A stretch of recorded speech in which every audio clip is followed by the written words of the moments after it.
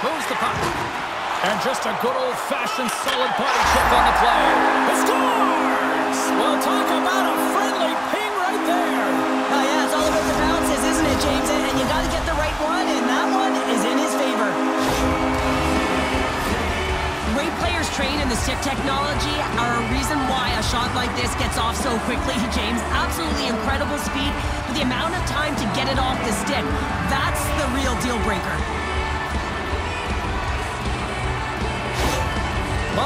Finally lit the lamp for the first time in this one as we just passed the midway mark of the first. And this is really important to open the game up. It's also important for the coach to utilize their bench. Everyone wants in the game. They want to contribute. You can see with that goal.